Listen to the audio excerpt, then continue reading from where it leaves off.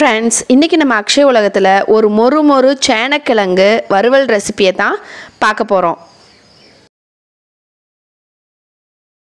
அதுக்கு முன்னாடி இது வரைக்கும் நம்ம சேனலை சப்ஸ்கிரைப் பண்ணாதவங்க சப்ஸ்கிரைப் பண்ணி பெல் பட்டன் கிளிக் பண்ணி ஆல் ப்ரெஸ் பண்ணிக்கோங்க. இந்த ரெசிபி செய்கிறதுக்காக அரை கிலோ சேனக்கிழங்க தோல் சீவி நீல வாக்கில் கட் பண்ணி கழுவி எடுத்து வச்சுருக்கிறேன். ஒரு அகலமான பாத்திரத்தில் தண்ணி எடுத்துக்கலாம். கூடவே தேவையான அளவுக்கு உப்பும் சேர்த்துக்கங்க.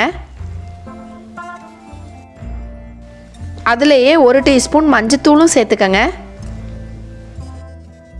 இது கூடவே நம்ம கட் பண்ணி எடுத்து வச்சிருக்கிற சேனக்கிழங்கையும் சேர்த்துக்கலாம்.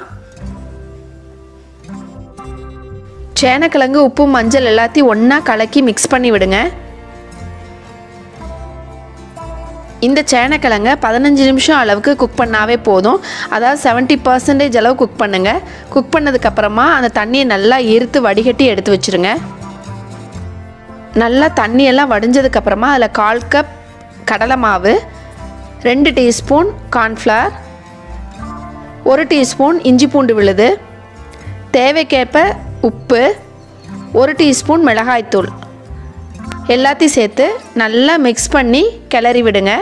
தண்ணி தெளிக்கவே வேணாம் அதுலேயே தண்ணி விடும். இந்த மாதிரி நல்லா மிக்ஸ் பண்ணி கலந்து கொஞ்சம் நேரம் ஊற வச்சுருங்க. ஒரு கடாயில் தேவையான அளவுக்கு எண்ணெய் ஊற்றிக்கங்க எண்ணெய் நல்லா காஞ்சதுக்கப்புறமா நம்ம ஊற வச்சு எடுத்து வச்சுருக்கிற சேனக்கிழங்க கொஞ்சம் கொஞ்சமாக போட்டு ஃப்ரை பண்ணிக்கலாம்.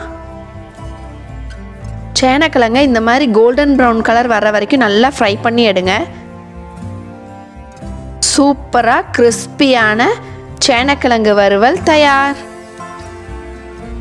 ஃப்ரெண்ட்ஸ் நீங்களும் இந்த கிறிஸ்பியான சேனக்கிழங்கு வறுவலை உங்கள் வீட்டில் ட்ரை பண்ணி பார்த்துட்டு எனக்கு கமெண்ட் பண்ணுங்கள் ஃப்ரெண்ட்ஸ் நெக்ஸ்ட் வீடியோவில் உங்களை சந்திக்கும் வரை பை ஃப்ரம் அக்ஷய உலகம் ரெஜி பிரியா.